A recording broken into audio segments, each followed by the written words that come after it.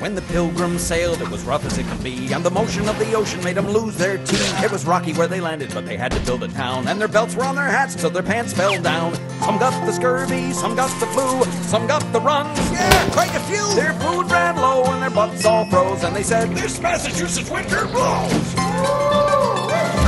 Then a fellow named Squanto came along one day a barrel full of corn, and they all said, Hey, good morning, and broken, short, and gone. And thanks for cleaning up and all the run your car. They cleared the land and learned how to plow. Soon they were blessed with buttloads of chow, so they gave old Squanto and his friends a shout. Hey guys, it's America, let's all hang out. So they had a huge feast. There was turkey by the ton. There was stuffing, mashed potatoes, and they just begun. There was sweet potato pie. There was pumpkin too, and a green bean casserole that tasted like glue. For all the growth.